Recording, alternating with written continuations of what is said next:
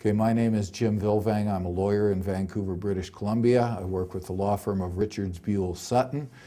I was a member of the Olympic Gym on West Broadway in Vancouver during the 1970s. I started shortly after the gym opened, I believe late 1974 or early 1975, and I remained a member after it moved over to Arbutus in the, I believe, early 1980s, but I'm not completely clear on the dates. But definitely I was a member there through the latter part of the 70s.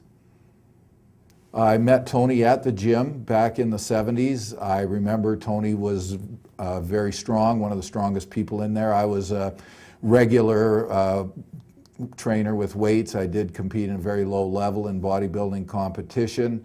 Um, Tony was a person that you would notice because he had very distinctive workout routines and he was obviously uh, one of the most muscular people in the gym at the time. Specifically, I remember Tony doing what I considered at the time to be weird exercises.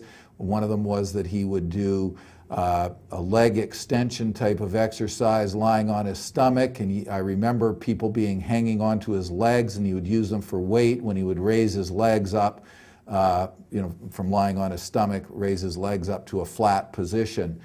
So I know Tony was very focused on his back exercises in the 70s uh, whereas most of us didn't specifically isolate the back. Uh, well, the, the spinal erectors, we'd uh, you know, isolate the lats and things like that. Certainly I would testify to these things to the best of my ability. If uh, I was under oath, my memory of dates and that is not clear. You're asking me to go back over 30 years. I have a memory of sort of a vision in my mind of you doing these type of exercises generally. I couldn't say a specific date, time, that sort of thing. But, mm, you know, generally speaking, I would say more or less what I've said here.